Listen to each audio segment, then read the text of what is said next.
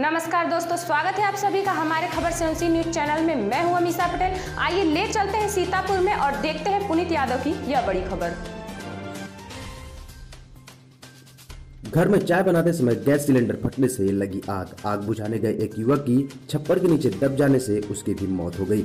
एक मोटरसाइकिल सहित घर में रखा सारा सामान जलकर खाक हो गया है। पूरा मामला रामपुर थाना क्षेत्र के शिवपुरी गाँव का है।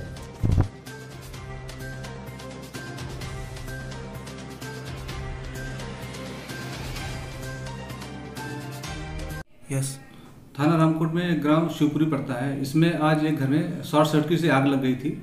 जिसको बुझाने के लिए उसके बगल का ही एक व्यक्ति गया हुआ था जो कि छप्पर गिरने से वो उसके नीचे दब गया और उसकी मृत्यु हो गई। उच्चाधिकारियों द्वारा घटनास्थल का निरीक्षण किया गया है। तहरीर मिलने पर पंचायतनामा और पोस्टमार्टम की कार्रवाई की गई है।